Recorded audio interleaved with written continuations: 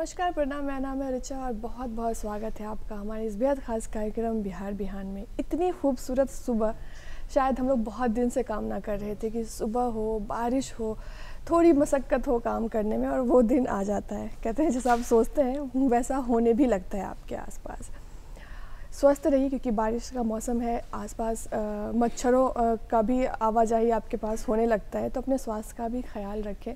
क्योंकि शरीर ही जो है आपका मंदिर है और मंदिर को साफ़ सुथरा रखें। क्योंकि अगर आप स्वस्थ रहेंगे तो स्वस्थ शरीर में स्वस्थ मन का वास होता है। आप अच्छा सोच सकते हैं आप, अच्छा लिख सकते हैं आप अपने दिन को बहुत बेहतर बना सकते हैं। तब जब आप स्वस्थ होंगे आप आप अंदर से खुश होंगे। खुश रहना बहुत बड़ी बात है। आपको कोई खुश नहीं रख सकता। आप जब तक खुद खुश नहीं होना चाहते हैं आप क्षण भर के लिए कभी आपको लगेगा कि अच्छा ये काम हो गया तो खुश हो जाते हैं, लेकिन आपको उस निरंतर बने रहने के लिए ना आपको बहुत तपस्या करने की ज़रूरत है, क्योंकि आप अपने शरीर, अपने मन, अपने विचार के खुद ज़िम्मेदार होते हैं। जी हाँ दिन की खूबसूरत शुरुआत के साथ हम आपका स्वागत करते हैं, और आप हमेशा जानते हैं कि दिन की शुरुआत और हमारे इस शो की शुरुआत एक अच्छे विचार से होती है। महापुरुषों के कहे हुए कथनों के अनुसार होती है। तो आइए देखते हैं कि आज का अनमोल वचन क्या है।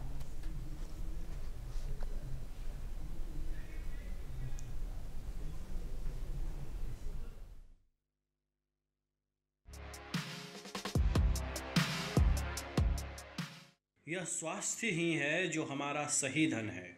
सोने और चांदी का मूल्य इसके सामने कुछ नहीं। आइए स्वागत करते हैं। आज हमारे साथ मौजूद हैं प्रोफेसर श्यामदेव भगत जो कि साहित्य साधना पुरस्कार प्राप्त पूर्व विभागाध्यक्ष हिंदी तिलका मांझी यूनिवर्सिटी भागलपुर के हैं। सर बहुत बहुत स्वागत है आपका हमारे इस कार्यक्रम में। जी धन्यवाद। सर सबसे पहले तो हम जानना चाहेंगे कि आ, क्योंकि आप साहित्यकार भी हैं आप शिक्षक भी रह चुके हैं अपनी प्रारंभिक जीवन के बारे में हम लोग चर्चा करेंगे। आप दर्शकों को बताएँ कि आपका प्रारंभिक जीवन कैसा रहा? आपकी प्राथमिक पढ़ाई कहाँ कहाँ से हुई? रिजा जी, मेरा जन्म मुंगेर जिला अंतर्गत एक छोटा सा अनुमंडल है, खड़गपुर, हवेली, खड़गपुर। उसके अधीन एक गाँव है प्रशंडो वहाँ हुआ, उन्नीस सौ पचास ईस्वी में। तो प्रारंभिक शिक्षा गाँव में जो विद्यालय उपलब्ध थे, क्लास छः तक वहाँ से मेरी पढ़ाई हुई और फिर क्लास दस तक की पढ़ाई मेरे गाँव से छः किलोमीटर दूर करीब करीब हवेली खड़गपुर है।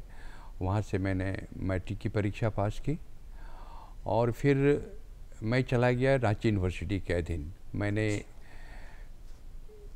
प्री किया मैथ से वहाँ से, पार्ट वन किया बायो से और फिर मैं लौट के अपने घर आया। और भागलपुर यूनिवर्सिटी से मैंने हिंदी सम्मान की परीक्षा उत्तीर्ण की और फिर एमए मैंने भागलपुर यूनिवर्सिटी से किया। अच्छा। काफ़ी फिर शिक्षण के क्षेत्र में आपका आना हुआ। तो कैसा रहा? कैसे इस क्षेत्र में आए? अपने अनुभव को साझा करें। हम लोग जिस परिवेश में रहते रहे वो एकदम ग्रामीण परिवेश है। मैंने क्लास सेवन एट के बाद यह सोचा कि पढ़ लिख के क्या होगा?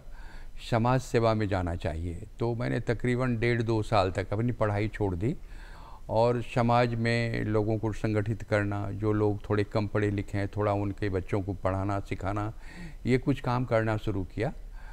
पर गाँव में मैं ये देखता था कि हम लोगों को वो तरजीह नहीं मिलती थी। हमारे परिवार को वो तरजीह नहीं मिलती थी।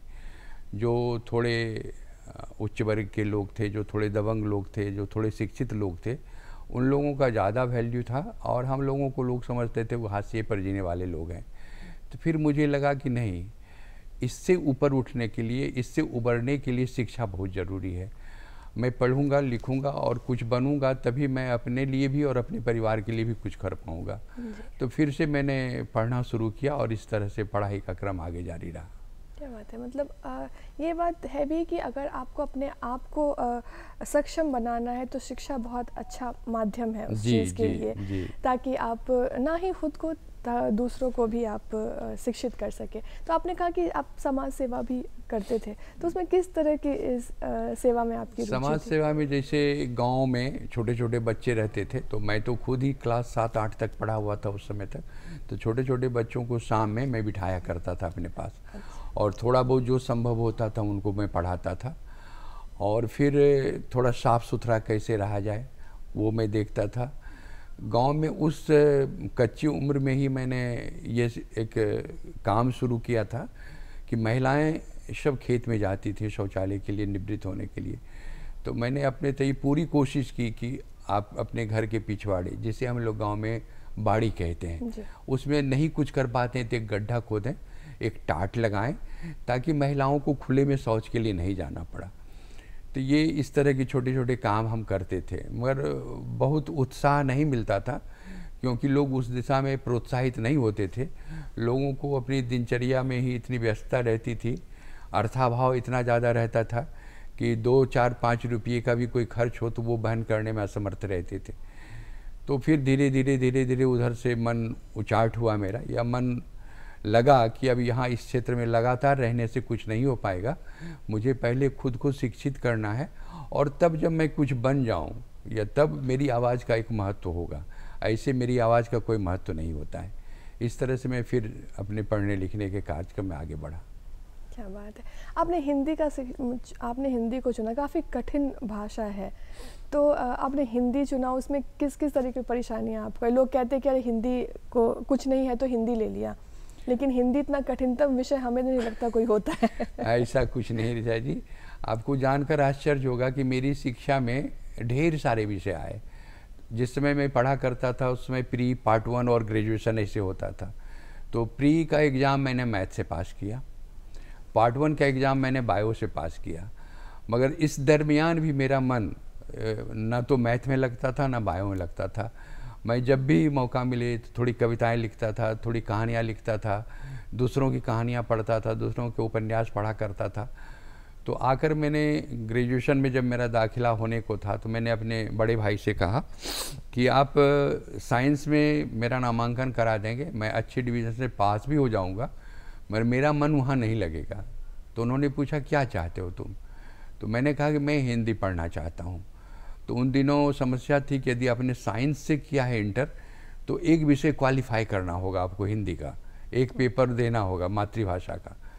तो एक पेपर मैंने दिया और अच्छे से उसमें क्वालिफाई किया। उसके बाद मेरा बीए में हिंदी प्रतिष्ठा में नामांकन हुआ। तो उसके बाद, क्योंकि काफ़ी लंबा दौर रहा, अड़तीस साल एक शिक्षण क्षेत्र में आपने दिया है और आप अभी का देख रहे हैं कि शिक्षा किस तरह का बदलाव देख रहे हैं आप? बहुत बदलाव हुआ है। पहले गाँव की ही बात ले लीजिए। बच्चे पाँच साल छः साल के हुए नहीं कि माँ बाप उनको किसी न किसी काम में लगा देते थे। और यह सोचते थे कि जितना हैंड होगा उतना मेरा इनकम होगा। मगर अभी के अभिभावकों में आप उसकी अभिरुचि को देखें कि वो रिक्शा चलाते हों दिहाड़ी मजदूरी करते हों ठेला लगाते हों पर अपने बच्चे को पढ़ाना चाहते हैं। मेरे इलाके में जहाँ मैं रहता हूँ, जमालपुर में, एक नॉटरडेम एकेडमी करके विद्यालय है।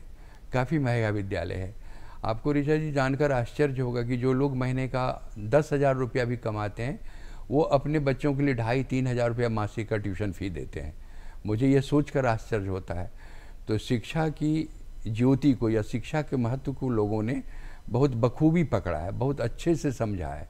और अपने बच्चे को पढ़ाना चाहते हैं, चाहे आधा पेट खा के हो, चाहे भूखे रह के हो। और इस तरह से शिक्षा के क्षेत्र में काफ़ी सुधार हुआ है और लोग साक्षरता का दर भी बढ़ा है और लोगों की अभिरुचि भी बढ़ी है और समाज धीरे धीरे एक उस दिशा की ओर में जा रहा है कि वो हाशिए से बाहर निकलकर केंद्र में आ सके। बिल्कुल। जब शिक्षा की बात करते हैं खास करके हिंदी आ, हिंदी विषय की बात हम करते हैं तो किन किन चुनौतियों का आपको सामना करना पड़ा? हिंदी की चुनौतियाँ चुनौतियाँ वैसा कुछ नहीं कही यदि आपकी बहुत रुचि है तो बहुत असामान्य विषय है। मेरा यह मानना है कि पढ़ाई से सरल कुछ भी नहीं होता है। पढ़ाई क्या है? लिखा हुआ अक्षर ही न है पंक्ति ही न है। चाहे गणित की हो चाहे अंग्रेज़ी की हो रसायन की हो विज्ञान की हो तो आपकी अभिरुचि होनी चाहिए। यदि हिंदी की अभिरुचि हो तो शुद्ध शुद्ध बोलना शुद्ध शुद्ध लिखना और चीज़ों को आत्मसात करने की प्रवृत्ति। हम्म। हिंदी में कुछ साफ़ नहीं रहता है। हिंदी का अर्थ या किसी भी भाषा का, उसमें बिटवीन लाइन्स ही उसके अर्थ आते हैं। आप किसी कविता को पढ़ते हुए यदि सोचेंगे कि हम इसका अर्थ निकालें तो उस तरह से नहीं निकलेगा। वह ध्वनि तो वहाँ कुछ नहीं होता है। आपको खुद उसका निकालना होगा। तो चुनौतियाँ बहुत ज़्यादा नहीं हैं। आपकी अभिरुचि होगी तो हिंदी साहित्य में आप बहुत अच्छा करेंगे। और हिंदी साहित्य अभी आने वाले युवाओं के लिए एक ऐसा क्षेत्र है जिसमें उनके लिए रोज़गार का काफ़ी अवसर है और काफ़ी ज़्यादा वो काम कर सकते हैं। अभी बदलते दौर में आ, हम अभिभावकों को भी देखते हैं कि इंग्लिश उन पर ज़्यादा वो मतलब उनको लगता है कि उनके बच्चे अगर इंग्लिश बोल रहे हैं तो वो ज़्यादा प्रभावित दिखेंगे सोसाइटी में बहुत ज़्यादा और उनको ज़्यादा प्रेशर भी रहता है बच्चों को। हिंदी अभी भी उनको लगता है कि हिंद अच्छा हिंदी है ना ठीक है। तो ऐसे अभिभावकों को भी क्या कहना चाहेंगे? उनको लगना चाहिए कि अगर आप हिंदी जब विषय है, जो आप हिंदी, आपकी बोलचाल, भाषा है, हिंदी जो हमारा जो साहित्य है, इतना अच्छा है, उसमें किसी भी तरीके की शर्म की बात नहीं होनी चाहिए। तो ऐसे में आप क्या कहना चाहेंगे?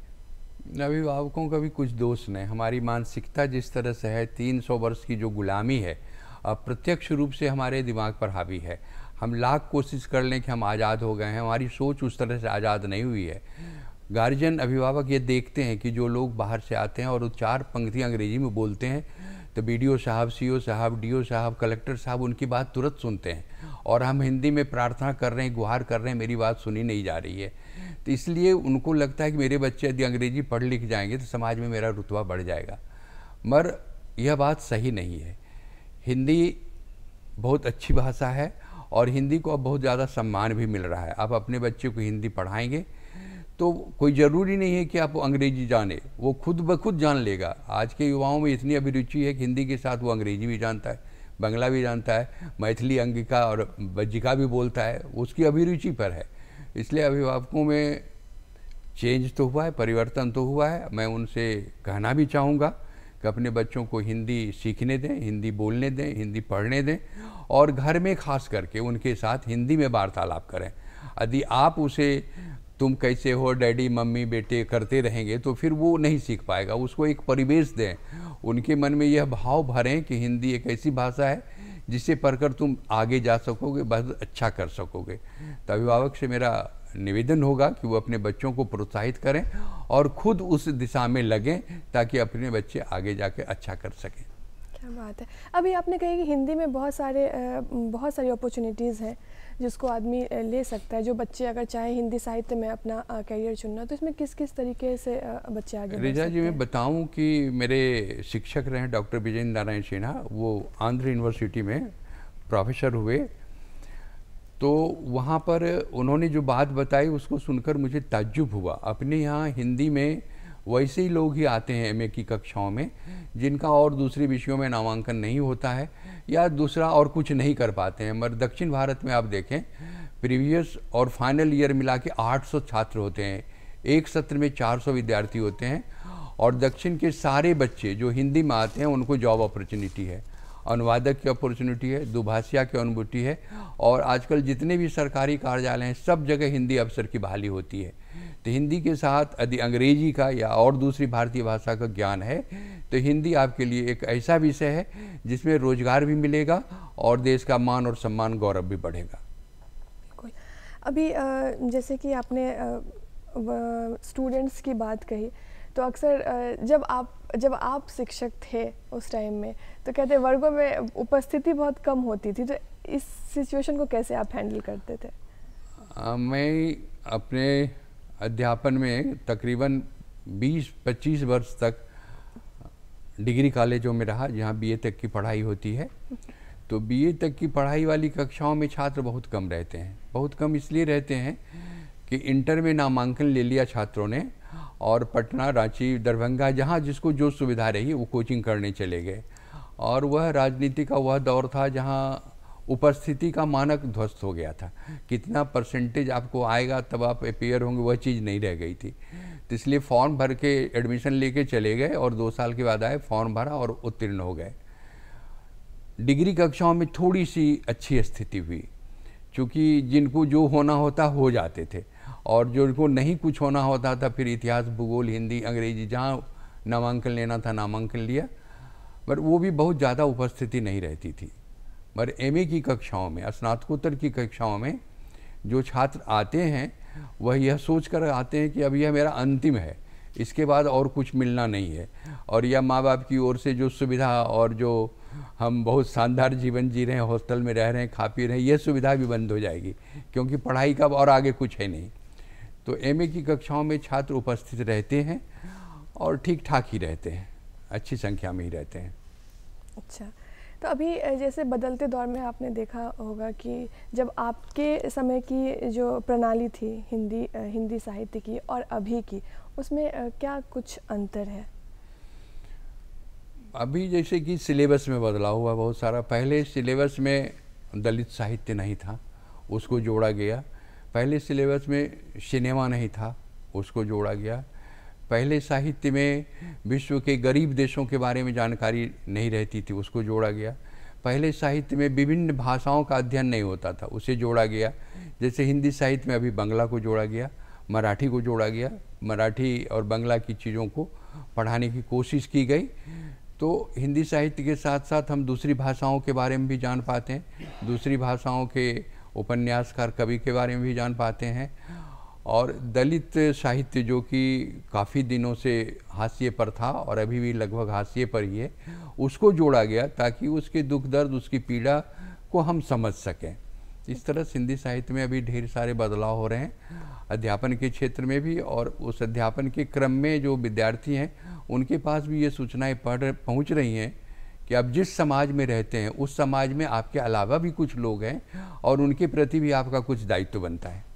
आपने अभी दलित साहित्य की बात की तो उसके बारे में थोड़ा सा बताना चाहेंगे दर्शकों को। दलित साहित्य में जो सबसे पहली किताब मैंने पढ़ी थी अक्करमासी आपने नाम सुना होगा उसका। गाँव में जब हम लोग रहते थे तो आप यदि अब ग्रामीण परिवेश से तो आपने खुद भी देखा होगा ग्रामीण परिवेश में दलितों का एक मोहल्ला अलग ही रहता है। जी। वो सामूहिक रूप से सामने नहीं होते। और अपने यहाँ के विवाह में, यज्ञ में, प्रयोजन में या खुशियों के मौके में प्राय उनको शामिल नहीं किया जाता था। और वो एक तरह से त्याज्य माने जाते थे। उनसे बहुत ज़्यादा संपर्क रखने की कोशिश नहीं की जाती थी।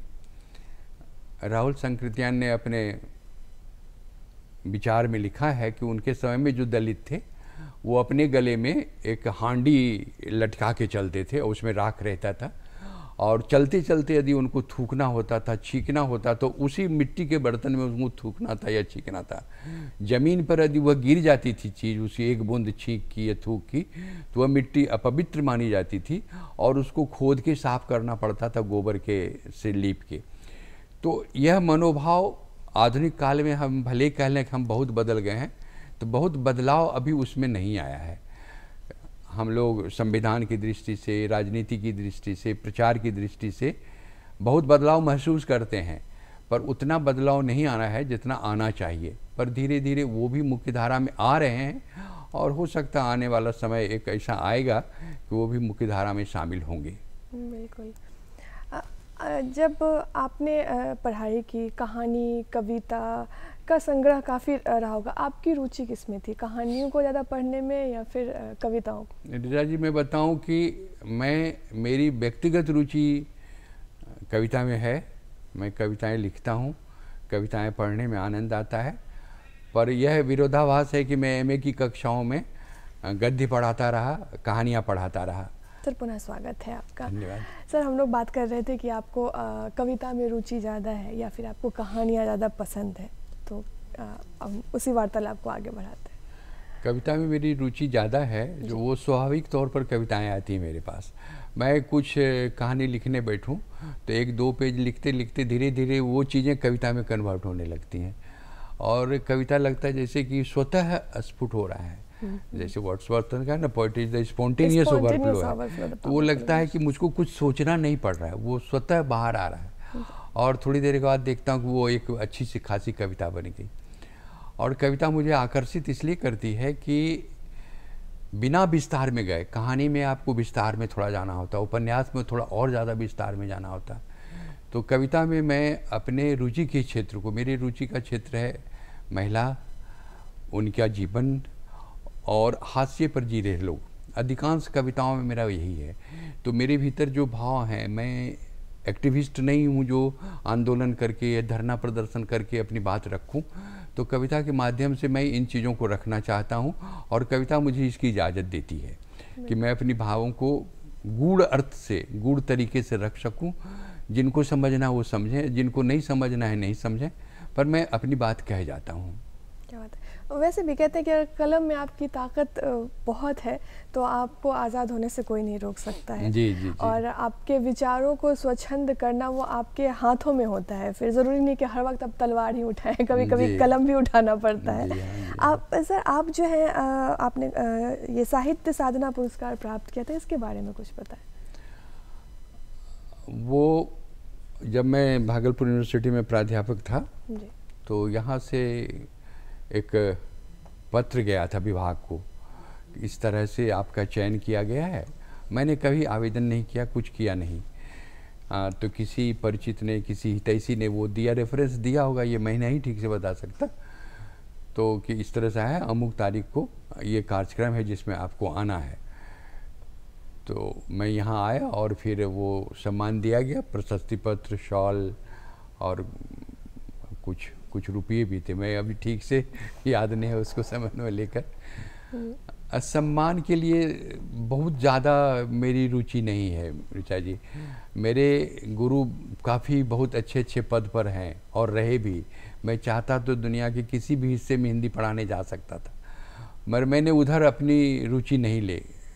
मैं सीधा सीधा रहा कि अपने घर पे रहूँगा। मैं जो काम करता हूँ वह कहूँगा और हाई फाई में जाकर कुछ लाभ नहीं है।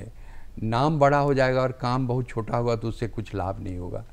तो मैं साहित्य की साधना में लगा रहा, कविता लिखने में लगा रहा और मेरी अभी दो किताबें कविता की हैं, बहुत जल्द आ जाएँगी छः महीने के भीतर। उस दिशा में मैं काम करता रहता हूँ। क्या बात है। जब आप में लेखने की शक्ति होती है तो साक्षात सरस्वती आपके साथ होती है। ऐसा मेरा मानना है। जब आपने कहा कि आपको साहित्य में रुचि के साथ आपको आपको लिखने में भी काफ़ी रुचि रही है तो अभी तक में आपने कितनी कविताएँ लिखी आपका कविताएँ मेरी तकरीबन अभी जो अप्रकाशित कविताएँ तक लगभग तीन सौ हैं अभी मेरे पास। अ, उसको मैं एक मूड की जो कविताएँ हैं उसको मैं संग्रहित कर रहा हूँ अलग अलग मूड में। अभी मैं वही काम अभी तीन काम चल रहा है मेरा घर पर।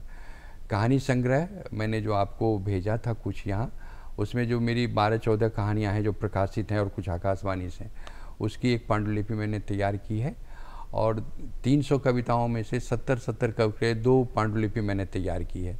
और उसका एक बार प्रूफ रीडिंग वो संशोधन या एक मूड की कविताएँ हैं कि नहीं उसको करके तो फिर मैं लगूँगा उस दिशा में। और अभी तक पब्लिश कितनी हुई? कविताएँ पब्लिश्ड बहुत हैं तो मैंने कारखाना देश परदेश प्र- पल प्रतिपल संवेद हिंदुस्तान दैनिक जागरण बहुत सारी कविताएँ वो मैं याद भी नहीं रखता। बहुत सारे अचानक जब मुझको हुआ कि ये कार्यक्रम है और कुछ चाहिए आपसे कि क्या करते रहें तो मैं अपनी कविताओं को सोच सोच कर इकट्ठा की तो आपको जो रेफरेंस मैंने भेजा तकरीबन सत्तर अस्सी कविताओं का भेजा हुआ है कि ये कहाँ कहाँ प्रकाशित हुई हैं। आप आप दो अपने साथ किताबें भी लाए हैं। कहते हैं कि अ, किताब का पहला हिस पहले हिस्से से आप किताब के अंदर क्या है उसको आप जज नहीं कर सकते। लेकिन आपका पहला जो ऊपर लिखा हुआ है वही इतना खूबसूरत है कि इंसान को पढ़ने पे मजबूर कर दे उस किताब के बारे में बताएँ। मेरी पहली किताब जो है अ, आई है इस सदी का प्रेम पत्र। जी। मैंने समाज के नाम अपनी सभ्यता के नाम एक मैसेज देने की कोशिश की है कि दुनिया प्रेम से ही चलती दुनिया नफरत से नहीं चलती। तुम यदि प्रेम दोगे तो सामने वाला कितना भी कठिन हो कितना भी खराब हो वो तुम्हें प्रेम देगा। आ, हमारे पिताजी कहा करते थे कि यदि तुम कुत्ते को भी प्यार करते हो तो वो भी तुमसे प्यार करेगा। आदमी तो आदमी होता है। तो पहली कविता के माध्यम से मैंने समाज को यह संदेश देने की कोशिश की है कि यह सदी प्रेम की सदी है नफरत की सदी नहीं। नफरत की सदी हम लोग भूल जाएँ। वो सदी बीत गई। नागासाकी हिरोशिमा बीत गया। वो विश्व युद्ध बीत गया। दो दो विश्व युद्ध हमने देख लिया। और इस नफरत को यदि हम आगे बढ़ाएँगे तो फिर तीसरा युद्ध आसन नहीं है उससे बहुत ज़्यादा हम दूर नहीं हैं। यदि अब भी हम नहीं संभले तो फिर उस संकट को झेलेंगे जो पूरी मानवता को नष्ट कर देगी। तो अ, क्योंकि अ, आप पढ़ाने का काम करते हैं फिर घर देखना हो गया बाहर देखना हो गया तो इसमें अपने आप को कैसे वक्त दे के आपने लिखा? हाँ बहुत कठिन होता है। आ, मेरी पत्नी काम करती थी हाई स्कूल में और मैं भागलपुर में पोस्टेड था और वो मुंगेर में पोस्टेड थी। तो या तो मैं भागलपुर में रहता तो पत्नी का ट्रांसफ़र कराऊं या फिर मैं रोज़ लौट के आऊँ। तो मैंने प्रेफर किया कि मैं रोज़ जाऊँ अपने तय कष्ट सहूँ। पचपन किलोमीटर की यात्रा मैं रोज़ एक तरफ़ से करता था। मैंने सवा सौ किलोमीटर की यात्रा मैं रोज़ करता था। सुबह उठ के भागलपुर जाता था। और शाम सात, आठ बजे तक भागलपुर से लौटता था। तो काफ़ी कसमकस रहा क्यों बच्चे छोटे थे तो छोटे बच्चों को माँ के अलावे पिता की भी साया चाहिए। तो इसके लिए मैंने यह चुना कि मैं ही कष्ट सह लूँ थोड़ा, ताकि बच्चे पढ़ लिख जाएँ, थोड़ा अच्छे रास्ते पर चले जाएँ, एक अच्छा इंसान बन सकें और समाज को समझने लायक बन सकें। तो मैं यह नहीं कह सकता कि कितना सफल हुआ, पर यह मानता हूँ कि मैंने जैसा सोचा था, लगभग उस दिशा में बच्चे हैं। तो तो लगभग आप सफल वो सफलता आप प्राप्त कर चुके जी, हैं। जी। आ, आ, हिंदी पढ़ाते पढ़ाते लिखना बहुत आ, आ, ये आम है कि आप लिखने लगते हैं। लेकिन आ, जब आप कविताओं में एकदम अपने आप को घोल देते हैं तो आपको वो प्रेरणा कहाँ से मिलती है? मतलब आपने ऐसा क्या देखा? क्या आपके पिताजी लिखते थे या फिर आ, ऐसा घर का माहौल था? जो आप नहीं, हमारे घर का माहौल नहीं था, हमारे पिताजी पढ़े लिखे नहीं थे, वो सिर्फ़ नाम अपना लिख सकते थे। आपको ताजुब होगा कि मेरे जितने दायाद हैं जब बाबूजी ने पढ़ाने का निर्णय लेकर अपने बच्चों को पढ़ाएँगे सबने उनको समझाया कि आप पागल हो, बच्चों को पढ़ाओगे, खर्चे कैसे चलेंगे, कहाँ से आएँगे? तो बाबूजी ने कहा, मैं देखा जाऊँगा। तो आपको आश्चर्य होगा, रिचा जी, कि बाबूजा हर साल एक एकड़ ज़मीन बेचते थे। हर साल। हम पाँच भाई बहन थे और सब बाहर रह के पढ़ते थे।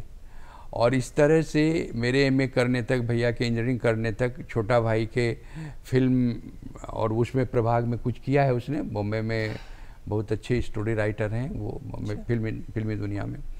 तो उनको पढ़ाने लिखाने में मेरी सारी ज़मीन बिक गई बाबूजी की। तो बाबूजी मेरे निश्चिंत रहते थे कि बच्चे यदि पढ़ लिख जाएँगे तो कोई ज़रूरत नहीं खेत की। तो। आज अहंकार नहीं है। बाबूजी ने जितनी ज़मीन बेची है उतनी ज़मीन मैं खरीद के दे सकता हूँ। और पर वही हमारे दायाद जो हैं फिर वो बढ़ते बढ़ते दस बीघा से पाँच पाँच से दो दो से एक हालत ख़राब हो जाती है। तो मेरे पिताजी निरक्षर थे। उन्होंने यह निर्णय लिया था मैं अपने बच्चे को पढ़ाऊँगा और निरक्षरता का जो कलंक मुझ पर है मैं उसको धोऊँगा और मैं अपने स्वर्गवासी पिता का आभार मानता हूँ कि उन्होंने यह सोचा। और आज हम आपके सामने बैठने लायक हो सके हैं तो इसलिए हो सके। कहते हैं कि निरक्षरता आपके कभी कभी जहन में वो घाव पैदा कर देती है जो आपको लगता है कि आगे हमारा जो जीवन चले ऐसा ना चले। तो काफ़ी बेहतरीन क्योंकि उनका उनकी ये कमी वो आप लोगों में पूरा करके गए। जी जी। तो हम हम लोग कविताओं पे बात करेंगे सर। तो कविताओं में आपने कहा कि महिलाओं को लेके आपने लिखा है। तो उसमें किस किस तरीके का क्या महिलाओं में किस तरीके की कविता समाज आधुनिक हो गया है कहने को। जी। पर महिलाओं के लिए उतनी ही जद्दोजहद है उतनी ही परेशानी है आज भी। उतनी ही कठिनाई है। गाँव में शौच को लेकर शिक्षा को लेकर शहरों में नफरत को लेकर। आप सौ फ़ीसदी, मन सौ आदमी का आंकड़ा उठाएँ तो आपको आश्चर्य लगेगा कि साठ, सत्तर घरों में महिलाओं को वह सम्मान प्राप्त नहीं है। अच्छी काम भी करती हैं, जॉब भी करती हैं। आप तो खुद जॉब करती हैं, आप महसूस करती होंगी पति भी काम करके आया, पत्नी भी काम करके आया। मगर पति की इच्छा होती है कि पत्नी चाय बना के दे, पानी ला के दे, मेरे लिए कपड़े सहेज के रखे, अखबार दे, और मैं कुछ कहूँ तो वो तीमारदारी भी करे। तो महिलाओं के लिए शहरी क्षेत्र में भी वही दुविधा है और ग्रामीण क्षेत्र में भी वही दुविधा है। तो ये सारा सब कुछ हल होगा धीरे धीरे ही। एक दिन में ये नहीं होगा। तो ये चीज़ मुझे बहुत कचोटती थी गाँव में। मैं देखता था गाँव में कि जो महिलाएँ हैं मेरे आस पड़ोस में सुबह उठती हैं एकदम पाँच बजे से और खेतिहर मजदूरी किसान था। वो जाता चलाती हैं, चक्की चलाती हैं चना भूंजती हैं, सत्तू तैयार करती हैं, पति के लिए कलेवा बांधती हैं। वो जब खेत में चले जाते हैं तो फिर गाय बैलों का सानी पानी करती हैं, घर झाड़ू झाड़ू करती हैं, मैंने दिन भर काम में लगी रहती हैं और उसका कुछ से उनको नहीं मिलता है। पत्नी के काम का कोई से न तो ग्रामीण परिवेश में है और न तो शहरी परिवेश में है।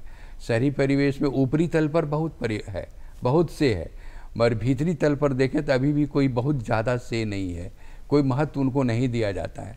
तो मैं चाहता हूँ कि उनको महत्व दिया जाए वो जीवन की मुख्य धारा में आए और बराबरी का भागीदार हों।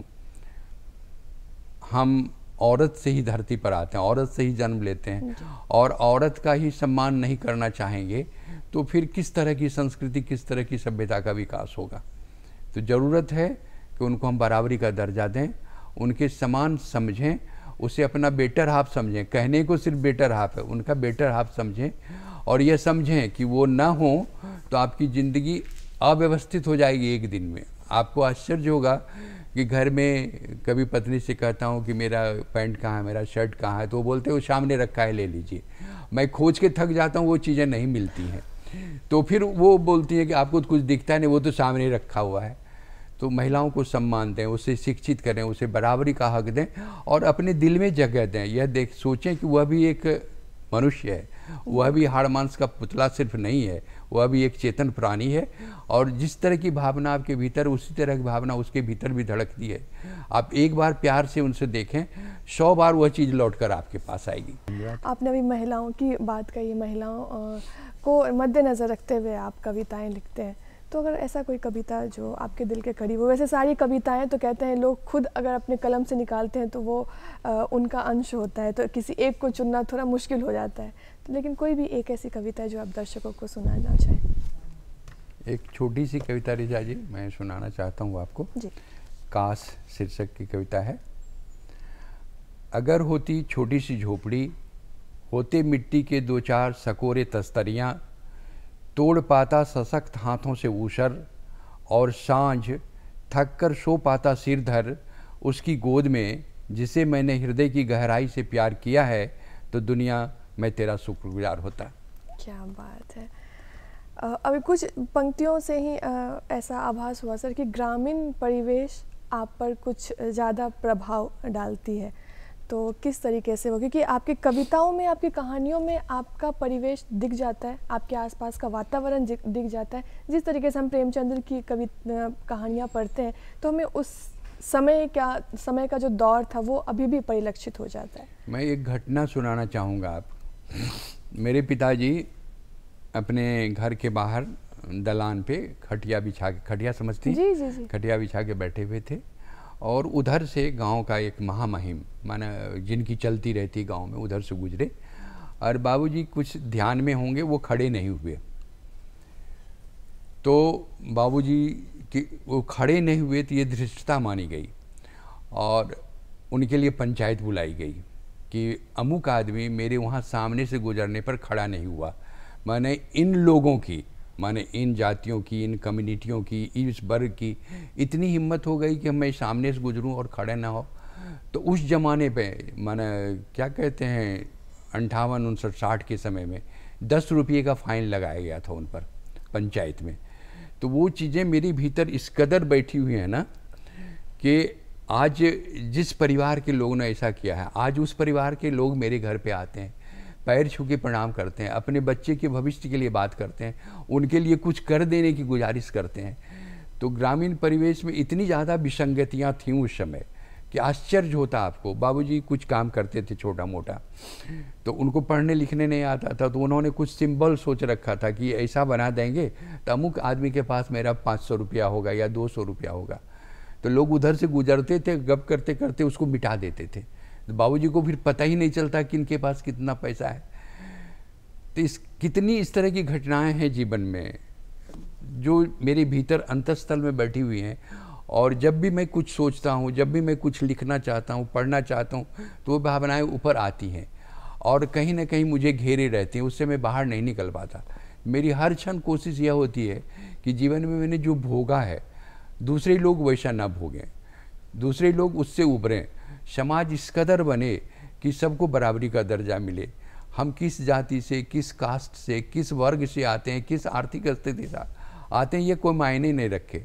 हम मनुष्य हैं, आप भी मनुष्य हैं, वो भी हमें अपना समझें, मैं भी उन्हें अपना समझूँ। ये भावनाएँ मेरे भीतर चलती रहती हैं। बिल्कुल सही है कि इंसान के लिखावट में वो प्रभाव दिख जाता है, जो कि चंद लाइनों से ही लगा। अभी गाँव का परिवेश और आप, क्योंकि आप शहर में भी रहते हैं तो शहर के परिवेश में आपको कुछ एक ऐसा चीज़ जो आपको लगता हो कि ये गाँव में सबसे खूबसूरत है, जो कि अगर शहर में नहीं भी है तो बहुत अच्छा है। गाँव में ऐसे तो बहुत ज़्यादा चीज़ें अच्छी नहीं हुई हैं, पर शिक्षा का स्तर थोड़ा बढ़ा है, ये मानना होगा। गाँव में प्राइमरी स्कूल हो गए हैं, गाँव में मिडिल स्कूल हो गए हैं, गाँव में हाई स्कूल हो गए हैं, और कॉलेजेज भी बहुत सारे गाँव में हो गए हैं। तो गाँव में एक चीज़ें जो बढ़ी हैं, अच्छी हुई हैं वह है शिक्षा का प्रसार। और मेरा यह मानना है कि शिक्षा मूलभूत आधार है। यदि हम शिक्षित होंगे तो हम सभ्य होंगे। और जब हम सभ्य होंगे तो हम संस्कृत भी होंगे। तो सभ्यता और संस्कृति दोनों का विकास शिक्षा से ही संभव है। इसलिए ग्रामीण उस दिशा में अग्रसर हैं और उम्मीद करते हैं कि वह समय आएगा, जब ग्रामीण जीवन भी बहुत अच्छा होगा, मधुर होगा। बिल्कुल, क्योंकि जब आप शिक्षित होते हैं तो आप में एक ऐसी शक्ति होती है, जो आपको खुद के लिए खड़ा रखती है, कि आपके लिए कोई दूसरा ना बोले। अगर आप शिक्षित हैं, अपने बच्चों को भी जो ग्रामीण क्षेत्र के लोग अगर हमें देख रहे हैं तो अपने बच्चों को शिक्षित करें। और बच्चों में लड़कियाँ सबसे प्रथम आती हैं, कि अगर लड़के बाहर भी चले जाते हैं तो हम लड़कियों को क्या करते हैं कि अच्छा ठीक है, तुम ऐसे ही पढ़ लो, घर में पढ़ लो एग्ज़ाम आता है तो पढ़ लो। नहीं शिक्षा का मतलब ये है कि वो अपने लिए खड़े हों सही गलत का फैसला खुद कर सके वो शिक्षा है। वो जब तक शिक्षित नहीं होंगी तब तक वो अपने लिए भी आवाज़ नहीं उठा पाएँगी। आगे बढ़ते हैं सर साहित्य की बात करते हैं। जो बच्चे या फिर जो जो युवा वर्ग साहित्य में आना चाहते हैं लिखना चाहते हैं और कुछ ऐसा कि उनको लग, लगता है कि हम साहित्य में बहुत अच्छा कर सकते हैं तो उनके लिए क्या कहना चाहेंगे? साहित्य में बच्चे आना चाहते हैं तो उनके लिए दो बातें मैं कहना चाहूँगा। यदि साहित्य में आपकी रुचि है तो आप निश्चित साहित्य में आएँ। साहित्य एकमात्र ऐसा साधन है जो। समाज को बदल सकता है। साहित्य में वह ताकत है। वो कहते हैं ना जब समाज बदलना हो तो बंदूक नहीं कलम उठाओ। तो साहित्य में बहुत ज़्यादा ताकत है। तो अब समाज में परिवर्तन चाहते हैं समाज में सुधार चाहते हैं अपने जीवन में परिवर्तन चाहते हैं तो साहित्य को अपनाइए। और साहित्य भी रोज़गार की दृष्टि से भी बहुत ज़्यादा महत्वपूर्ण हो गया। हिंदी साहित्य के छात्र यदि उन्हें दूसरी भाषाओं का भी ज्ञान है तो उनके लिए जॉब अपॉर्चुनिटी बहुत ज़्यादा है। बहुत ज़्यादा है, वो हिंदी पढ़ के अच्छी नौकरी में जा सकते हैं अच्छा जॉब पा सकते हैं। तो साहित्य में आप आएँ, दोनों दृष्टि से, रोज़गार की दृष्टि से भी और समाज में परिवर्तन की दृष्टि से भी। और सबसे ऊपर तुलसी के शब्दों में स्वांत सुखाए तुलसी रघुनाथ गाथा अपने संतोष के लिए साहित्य में आए। क्योंकि कहते हैं कि अगर अपने लिए आप कुछ वक्त निकालते हैं तो सबसे खूबसूरत वो होता है। तो अभी अभी तक में जब हम साहित्य के पूरे चीज़ को निचोड़ के अगर हम देखें तो आपको कहाँ लगता है कि आपको अभी और कितनी किताबें लिखनी हैं? आपके अंदर जो एक भावनाएँ दबी हुई हैं, वो अभी कितनी किताबों को लिखने के बाद ख़त्म होंगी? रिजा जी ऐसा है ना कि मैं तकरीबन तीन से चार कविताएँ रोज़ लिखता हूँ। अच्छा। रोज़। माने जब भी मैं कुछ काम करने बैठता हूँ तो कविताएँ स्वतः आती हैं और मैं लिखता हूँ। तो आलस्य इतनी ज़्यादा है कि मैं छपने नहीं भेजता प्रकाशित करने नहीं भेजता। तो ये जो दो किताबें हैं वो मित्रों के सहयोग से ये वही लोग पांडुलिपि बनाते हैं वही लोग करते हैं। तो मैं कोशिश करता हूँ कि मेरी जो चीज़ें हैं वो जनता के सामने आए समाज के सामने आए।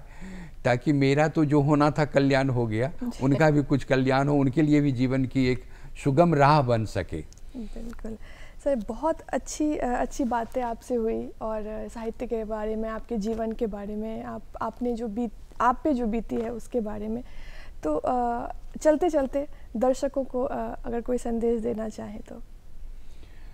आप जिस भी क्षेत्र में हों शिक्षा के क्षेत्र में हों विज्ञान के क्षेत्र में हों साहित्य के क्षेत्र में हों, किसान हों, मजदूर हों, कारगर हों, ठेला दिहाड़ी मजदूर हों, आप यह सोचें कि आपके अलावा भी समाज में कोई रहता है। जितना हक आपका समाज में है, उतना ही हक उनका है। दूसरों के हक के लिए, दूसरों के निकलने के लिए यदि आप रास्ता बनाएँगे तो वह रास्ता आपके भी काम आएगा।